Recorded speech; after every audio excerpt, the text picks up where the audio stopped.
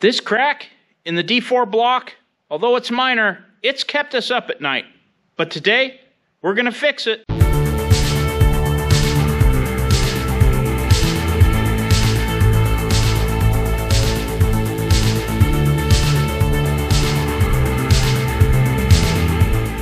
So a lot of folks have recommended that we drill this out and maybe uh, metal stitch this. I think that's what we're going to do.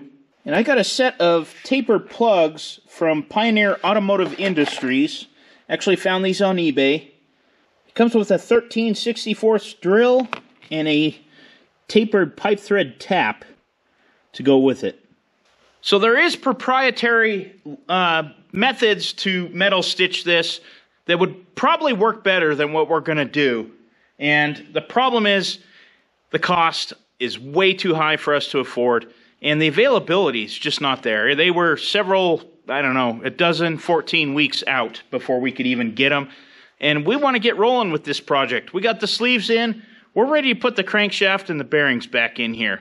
So we're going to go ahead and metal stitch this. It's also in a place that I'm not too concerned of because of where it is. I just don't want it to spread. Getting set up to drill this. Dad's got the drill out over here. And for this repair, I've got my tap, my drill, the plugs. I'm using Loctite 648. This is the green Loctite like we used on the bearings. And Tap Magic for thread cutting and some brake cleaner to clean it off. We've already stop drilled this right here, so I'm going to start here and just drill this one out. And I'm kind of going to mimic the angle of the metal here.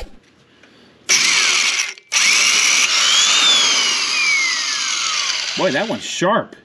That one blazed right through there. All right, I'll tap it. Blow this out with air. Put a little thread cutting compound oil on here. And I'm going to try and mimic the angle that I went in here. And these are a tapered tap. There we go.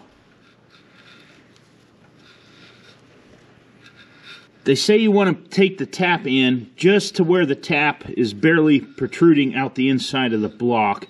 And the same way with the plugs. So I want to feel, and I'm actually right there right now. I would go a little bit more. A little more, past. you think? Oh yeah. We'll go a hair past. We'll have to clean our tap off. That thing is sharp.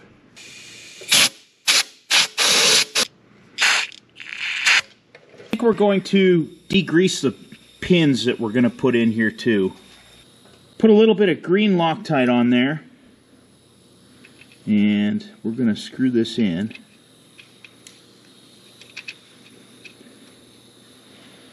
Now I got a 3 8 12 point here that'll fit on that pin just perfect. I want to kind of feel to make sure I get through the inside.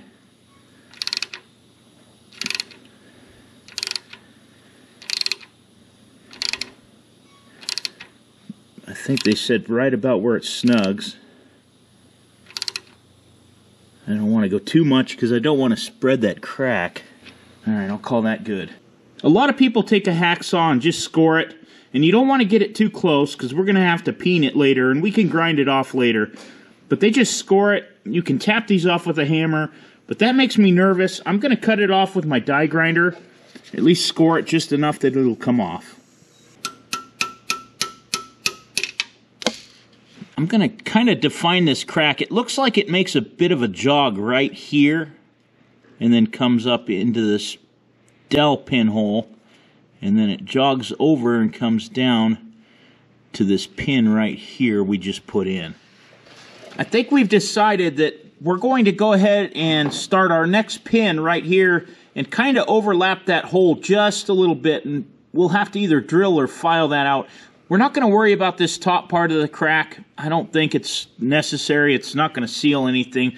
This gasket's going to seal around here. We'll put Glyptal and silicone in there. Dad just pointed out that crack can't go anywhere anyway. It's it's done. It's done what it's going to do. So we're going to go ahead and center punch this right here. Where do you think? Right there? Is that too low or? I'd keep it as closer to that thing a little bit. A little closer, No, you no, think? that's fine. Right there? Yeah. I'll drill this one out and then we'll stitch everything up in between. And for these two starter ones, I'm going straight in.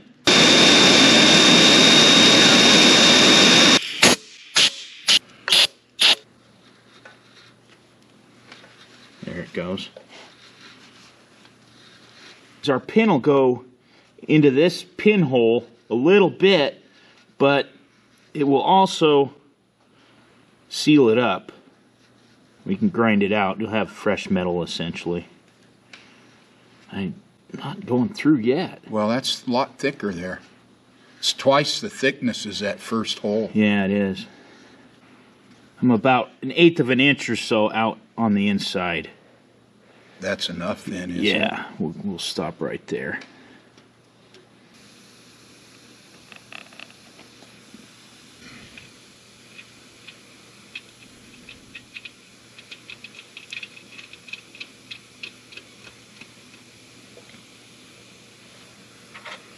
It's well into that hole. Oh, yeah. This is actually about perfect, I think. I will uh, file it out by hand until I get the dowel pin to fit nice. Yeah, that'll be good. We're good. I'm about flush, actually, is all. We'll go right there and I'll cut it off. We don't really know for sure what we're doing here because this is all new to us, so it's basically only what we've seen other folks do, and we're kind of experimenting on our own. I, I think it's going to work in the long Well, run. and this is a good crack to experiment on because it's not critical. All you get is splash oil running in this oil galley. Yeah. It's nothing really structural. There's no water or It isn't like on the here. head or the top of the block here where it's really gets a lot of heat either. Yeah, this it's a good one to learn on, really.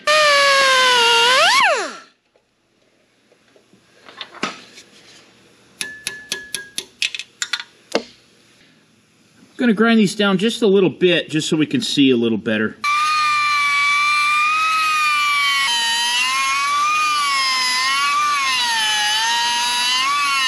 I kind of messed up and I nicked this surface here. I'm not happy with myself. That'll seal under the gasket some silicone. I've got to be more careful in the future. But we'll get this close and then maybe even with a Dremel. And then Dad will file it so that we get this machine surface as close as we can get through here. Like that. Yeah, that'll work. We might be a little close, but we're experimenting here, and I- I think by practice, what I've heard is you want to have a slight angle and kind of stitch it opposite directions all the way up here. And we'll kind of just follow this crack up to here. It's going to get a little tricky in this seam right here because this metal also gets thicker right there too. So we'll start here and work our way up.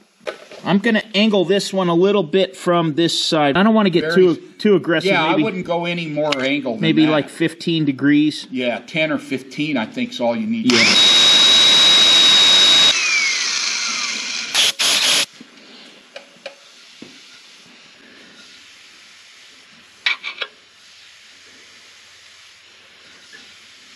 A little bit more of my green Loctite. So I'm thinking on the next one, we're going to get a little bit closer to that last pin. Uh, I think it's better to err on the side of caution and have your hole more into the last pin than too far apart. We have good thread engagement all the way through that last pin in there, so I'm not too worried about it. Got a little bit generous with the Loctite on this one. Can definitely see we're in there at a bit of an angle. And I, I think that is the stitching part of this art, which I think this is kind of an art, is to I guess the threads pull against each other in different directions and keep this pulled.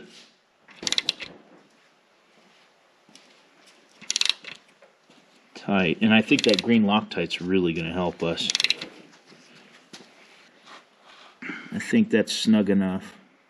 I'm a little afraid to get these too tight, Well, it's thin there and too. it's thin, and we have that green Loctite on there, so I think we're going to be okay. Can you feel it inside? Oh yeah, yeah, yeah. It's it's through there about I don't know quarter inch or so. Oh, So we're we're good. And this is just for work, and I've kind of ground that off. Later on, when we get this all stitched in, I'll grind these just above flush and then we'll peen them. So I'm going to continue this. I'm not going to do every single one of these on camera, but you get the idea. About a 10-15% degree, we'll stitch it back and forth all the way up, just like a sewing machine.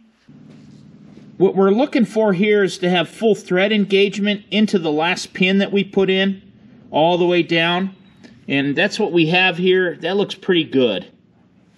And remember, these are tapered taps, so the further you go in, the further they're going to be apart. So you're going to need to take a little more than you think you're going to need. So we've done the first one in straight, the second one in at an angle from one side, the third one in from an angle at the other. We're going to put this fourth one in straight again and repeat the process. That's where we're center punching them. I don't know if you can see that tiny dot right there above the last pin we just put in.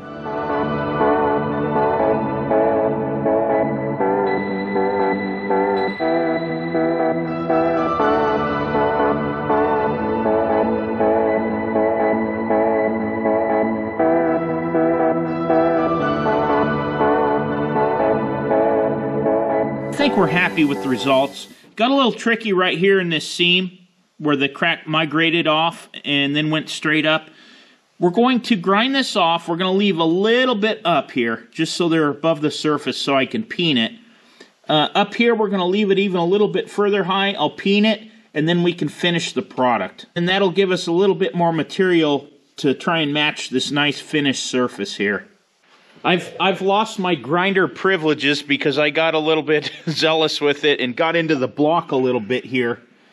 So cleaner says that he's going to do all of this. I'll peen everything, but he's going to finish the grinding and he wants to peen the top of these by hand, the Yeah, top I'll, 2 I'll peen these by hand. I want this surface up here perfect. We don't want to uh, have a problem there. yeah, So I agree. Yeah, you can see threads go clear through that hole, Yeah, clear to the we'll, back. We'll file that out easy, I think, and then we'll run a drill bit through there. And Dad was saying that we're going to put the pin, that dowel pin, back in there. We'll Loctite it back in after we get that all set. Hopefully, this will be the end of this crack story. All right, go cleaner, go. That one is one where you could take your radius thing and just cut in there a little bit. You trust me to do that? Let me do it. That's what I. I don't like that thing with that shield on there. Well, nobody likes safety. Wait, that's not oh, right. it's, it's all right. Oh, I see it. Peanut. You can watch it pull that little bit of thread that was protruding into there. Right. And kind of incorporate that metal into the cast iron block.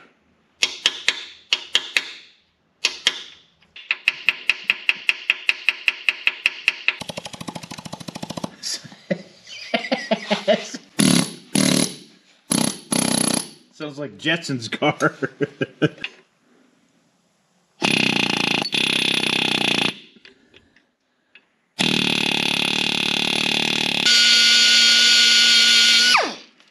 I'm good up yeah, there. that looks pretty good, actually. I got it's a little high yet. See if I can blend this out a little bit better. I'm gonna blend it with this air hammer, and then Dad's gonna hit it with the needle scaler to finish it up.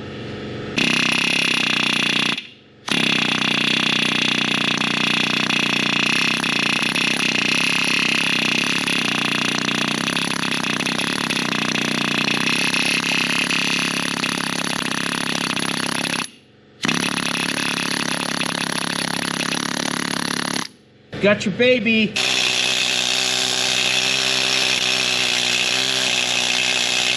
Well, that blended very well, except where I messed up and I got a little close with the grinder here. You could see a couple of nicks, but you know, from a distance, like you can barely tell. And you really can't tell that that's not already in the casting.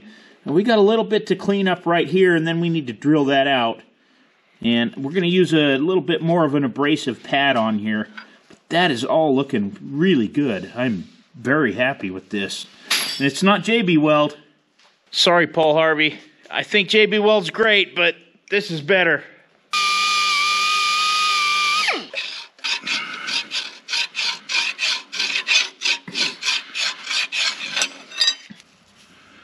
I'd say we're good. Yeah, a, a little silicone on there, it'll It's seal fine. that fine. Yeah. Put our gasket in some silicone.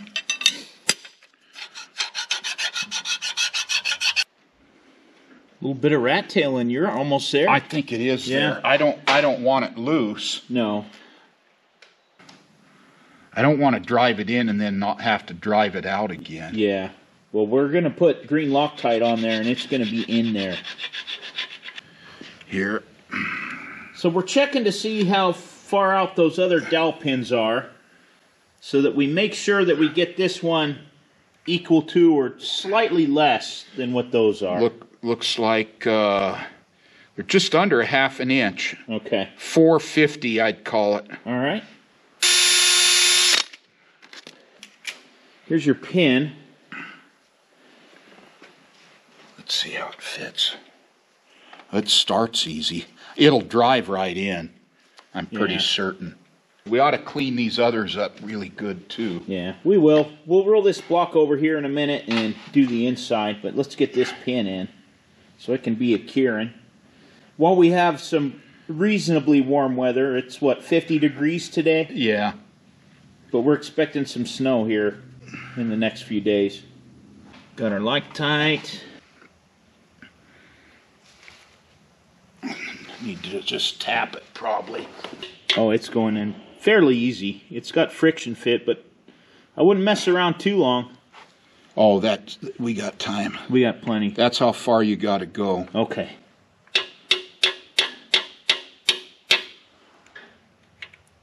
A little bit more. bit more. Nope, that's probably good. Yeah, you went. It's a little it's, further. It's a little far. That's, That's fine. fine. We're good. That'll be good. Okay, let's take a look at the inside. So right there is the inside. You can see where these pins go in, and you can see how we alternated them left to right and then straight to lock everything in there. And we're going to take a grinder. We'll grind that down a little bit. And you can see the Glyptal in there from before when I did this. But we'll grind these down, and then I'll Glyptal everything again. And I'll wrap that grip Glyptal up around the top where that small crack was. I'll get some in behind this pin here, and that'll seal all this up really well from the inside. Got those ground off and cleaned up. Now we're ready for some Glyptal. So we used about eight stitches on 7J's block, actually 4G's block now, and we're very happy with the results. Time to put a little Glyptal in here. Had it sitting in the sun out here. Because I don't want to ruin a paintbrush, I'm just using some Q-tips to dab a little bit on there. I've already cleaned all this out. That looks really good. That's going to seal up our stitch from the inside. And I put a little Glyptal up here on the top from the outside. Any oil that might get up there, it'll seal that crack and kind of roll it back inside the engine. We're going to call it done. Blended fairly nice. Actually, the worst part of it is when I ground this out to put JB Weld in it. Totally unnecessary. Yeah, you kind of can see those pins a little bit in there, but the silicone will seal that up. I'm very happy with the results here. I do want to thank you for watching, and we'll see you on the next one.